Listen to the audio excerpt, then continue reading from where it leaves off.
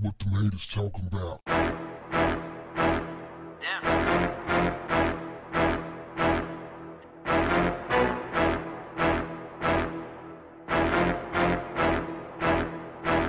What's up, family? I saw a video of rapper 2 Chainz in Dubai complaining about being searched by security at the airport. The source of the complaint? He smelled like weed. 2 Chainz was very, very adamant that he did not appreciate being bust down in their quest to find marijuana on his persons. So he goes to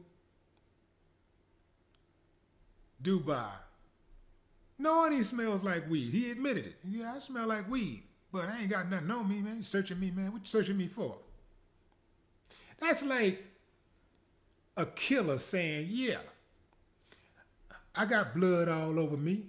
But that don't mean y'all got to be searching me because y'all looking for a killer. Come on, man. You know, it's the old saying, when in Rome, do as the Romans, right? Which simply translates into understanding that when you go to a different country, they have their own set of rules.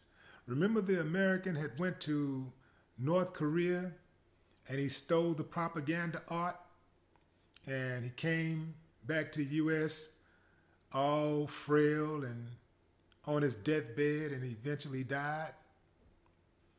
Those people do things differently in their country. You can't expect every country to comply to US standards. You're supposed to adapt to a country's culture, not the other way around. When you go visit a, different country, you're supposed to adapt to them. It's not the other way around. Some of those countries out there will do you dirty if you are caught with drugs. Just marijuana. If you go to like places like Indonesia, Malaysia, uh, Japan, the Philippines, uh, United Arab Emirates, man, you will find yourself in a heap of trouble over the smallest trace of marijuana. In the Philippines, if you get caught the first time, they'll give you uh, like six months in jail. If you if you're bold enough to try it again, they'll give you you may get six to ten I mean six to twelve years. And the United Arab Emirates, they are the absolute worst when it comes to marijuana. You can get caught up in Dubai, like where they were, just on some poppy seeds, you end up in prison. Those people are very, very serious about marijuana. They're very serious about punishing people over marijuana.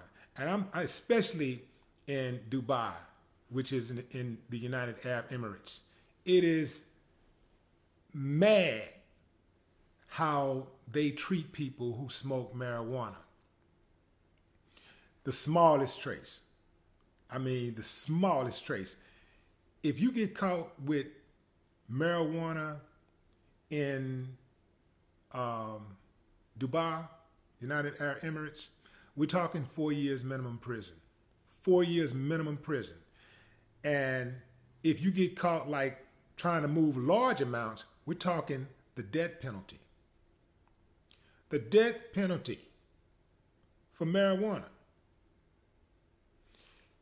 A small trace of marijuana in your blood in Dubai can get you a possession charge. And I'm talking about if it shows up, they don't even have to have it on you. You don't have to have it physically. It can just be in your blood. In your blood, uh, it can be in your urine. And you can end up going to prison for possession. That's how serious they are. I know a lot about Dubai because me and my family have visited there many, many, many times over the years. And you have to know the culture when you go visit. You're going out to this vacation and it's all good, and maybe you don't come over there with marijuana or smelling like marijuana. Maybe you get there and you're in a bar and somebody walk up to you and say, "Hey, want to try this?" And you thinking, "Oh man, yeah, getting high in another country, that's cool." Mess around and don't come back home. You got to be very careful. When I first moved to Azerbaijan, I I think it was the first it was, it was probably my first week there. Yeah, it was within the first week and it was hot. I had some shorts on. So throughout the day I was moving around and people were staring and, some people were laughing. I'm thinking they're staring, you know, I'm used to people staring because they didn't have hardly any black people there when I first moved out there. So I'm thinking they're laughing and they're staring, and some of them are laughing because, you know, they just ain't got good home training. So and they're they're laughing. So my kid's mom come home in the evening, and she I tell her about my day. You know, she tell me about her day. I tell her about my day. And she said, "Did you have those on?" I'm like, yeah. She said, Willie, you uh, cannot wear stuff like that around here. If you are a male and you wear shorts, they think you're gay. So they're laughing at me because they think I'm gay. So if you think people in America are homophobic, you don't know anything. Go visit Azerbaijan. You'll see a whole different world. They don't get down like that. So yeah, they're laughing at me the whole time. I'm moving around because I got these shorts on and they think I'm gay. So I just wanted to drop this video on y'all real quick and just remind you guys when you're traveling abroad, make sure you understand the cultural norms in that country. Make sure you understand what the customs are, what the laws are in that country. Understand the rules because if you don't, you can find yourself in some big time trouble. My cousin got caught up with a, some pills. He had a prescription with his name on it, the label and everything, and he ended up in jail for like seven days in Dubai. That's how they rock out there. So you better make sure if you have some pills with your name on it or whatever, that's not enough. You got to have a prescription from the doctor. Make sure you understand what the rules are before you visit a different country. Someone said 2 Chainz should not have went to Dubai in the first place because they're racist. I personally don't know of a place anywhere in the world that a black American could not go and experience some form of racism. America has done that good of a hit job on our image. And having said that,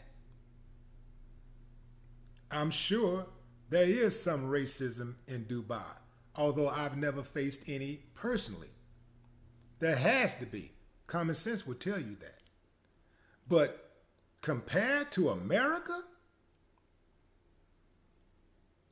Dubai is a teardrop, and America is the ocean. No more talk. What, what, the haters talking about? Damn.